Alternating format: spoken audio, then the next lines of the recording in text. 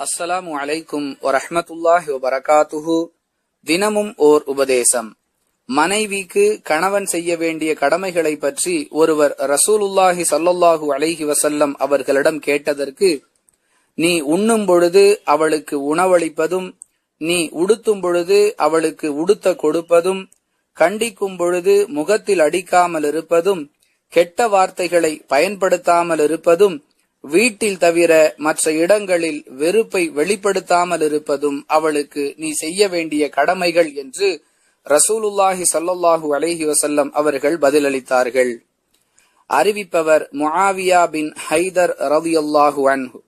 நூல் அபூதாவூத் ஹதீஸ் எண் ஆயிரத்து எண்ணூற்று முப்பது.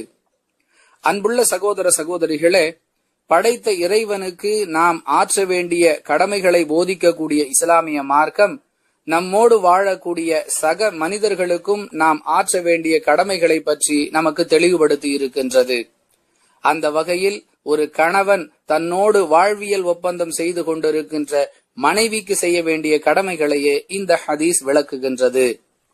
புரிந்து நடந்து கொண்டால் அல்லாஹுவின் பதிவேட்டில் நல்ல கணவர் என்ற அங்கீகாரத்தை நாம் பெற முடியும்.